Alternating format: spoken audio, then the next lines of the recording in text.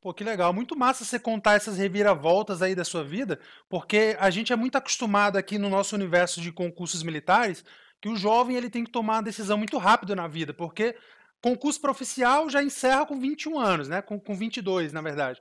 Concurso para sargento já encerra com 24. E tem muito jovem que, às vezes, o cara, por exemplo, 24 anos, não consegue ingressar na SpaceX, na ESA, na Escola Naval. Aí o cara fica perdido na vida. O cara fica pensando que, ah, agora fudeu, agora eu não vou ser, eu vou ser um Zé Ninguém, não tem mais nada para fazer na vida.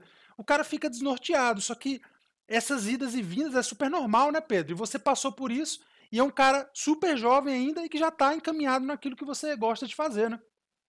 Exato. Eu recebo muita mensagem da galera ali com 30 e poucos anos, com até 40 anos. Putz, agora tá muito tarde para mim, tô muito velho. E na realidade, no meu curso de formação, tinha uma senhora que tinha 59 anos, 58 para 59 anos.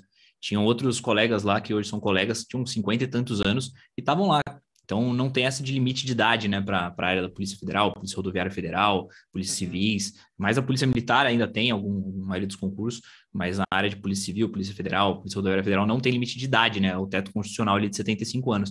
Então, tá bem fisicamente, tá conseguindo estudar, não tem essa de, de limite. Então, é uma solução aí para a galera que perdeu o prazo, ali, perdeu a idade para as carreiras militares, mas ainda quer uma, um trabalho assim na parte de segurança e tudo mais. Segurança pública é bem interessante. É, até porque vocês, no caso da Polícia Federal, vocês não são militares, né? Vocês são funcionários públicos civis, porém as semelhanças com o militarismo são gigantes, né? Tem muita coisa parecida é, é, entre esses dois universos, né?